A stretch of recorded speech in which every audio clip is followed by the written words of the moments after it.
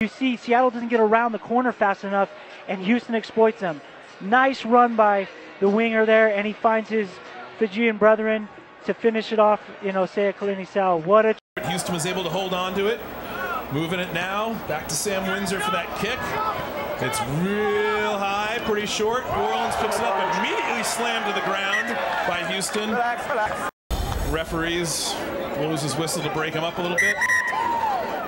Still haven't nice hit him. though by Vici, man. He extremely exhausting as the Seawolves find themselves once again in possession at line-out time. Beautiful take comes down to Duchel, straight through Duchel. This is what he does best, and it'll be a straight run to the line for the Beast. He reaches.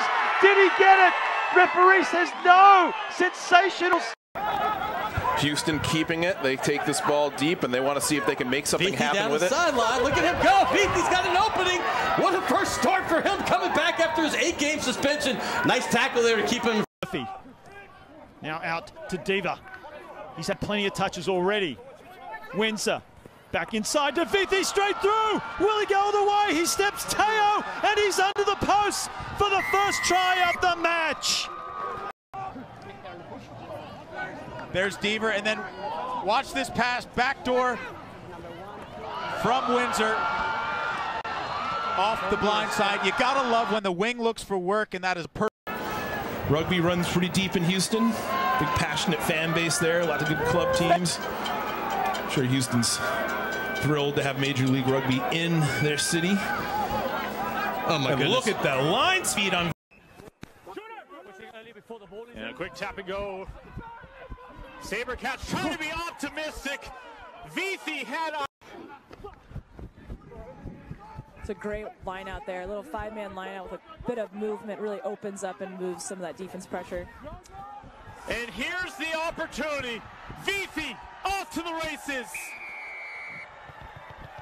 Crossed his T's, dotted his try.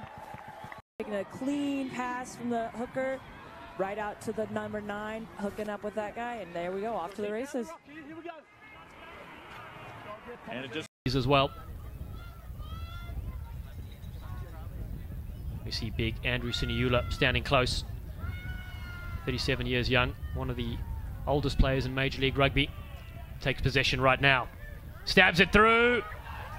No chasers though. Vici picks this one up. Ball in one hand. Just to a Vici, like he's done in the Sevens World Series. Beaten four players. Vici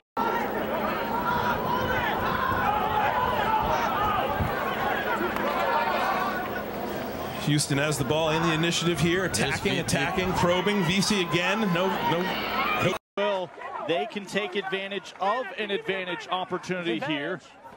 Still playing it. Off the boot. Windsor has the speed to scoop it up. Outside to Vici with the creativity. Vici off to the races.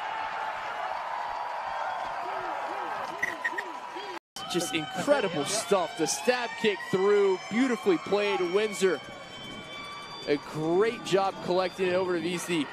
Vici, no way. He says to Taramai. Murphy, long pass out to Windsor. Even longer pass, way out wide to Vici. Takes on Peterson, beats Peterson. Now Boyer is able to do the job. Peterson comes to clean up after his days for the Sabercats.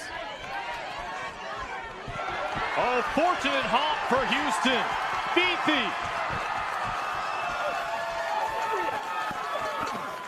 Championship. That was essentially a must-win for Glendale. If they would have won that match against the Seawolves, they would have held their future in their own hands. They did not. Every Sabercat touching the ball on this one. And it's Windsor touching it down.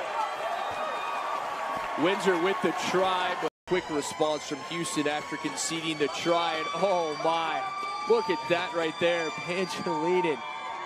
It may have been Coyle, excuse me. Coyle with a beautiful little flip back. And now we are seeing some flying rugby. So the Raptors were not able to take advantage of that early knock on deep into Sabercat. Five to three advantage when Davidson dotted it down in the opposite try zone. The strength of Glendale is the backs. They just haven't had opportunities, haven't had touches. When they've had the ball, there have been black jerseys swarm.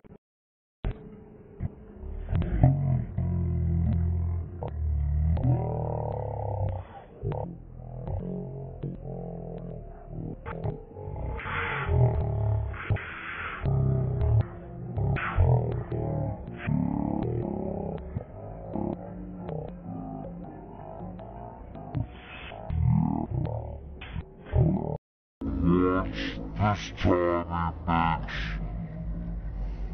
I'll doubt about it.